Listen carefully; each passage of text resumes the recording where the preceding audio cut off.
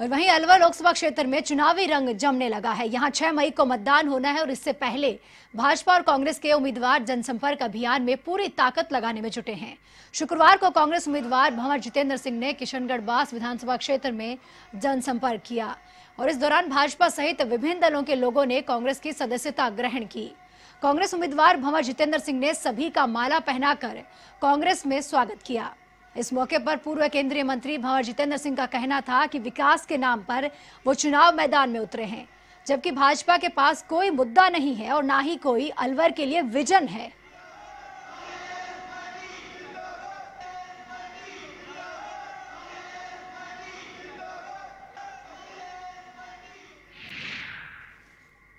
Party Shiv Sena पार्षद मौजूदा जो लोग हैं जो सरपंच रहे हैं पंच मौजूदा पंच हैं उन सबों ने आज कांग्रेस ज्वाइन करी है।